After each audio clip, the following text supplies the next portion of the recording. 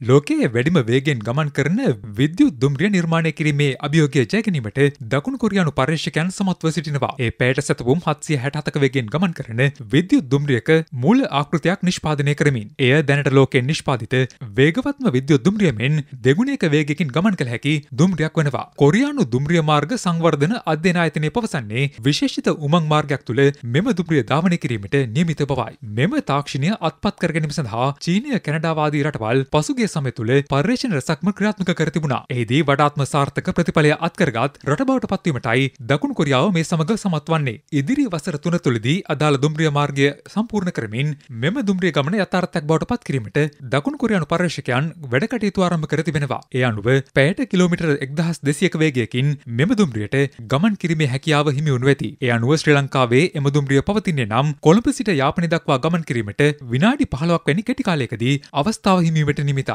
මෙය ලෝකයේ ගමනාගමනය තබන දැවන්ත ඉදිරි පිවරක් බවයි දකුණු කොරියානු පර්යේෂ